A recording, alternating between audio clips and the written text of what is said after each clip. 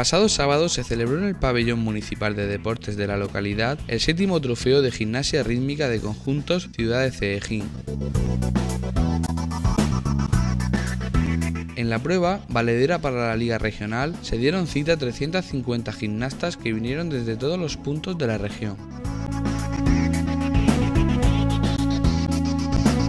Cuanto a las gimnastas ceejineras, el equipo prebenjamín quedó primero, el alevín base segundo y el junior de liga tercero.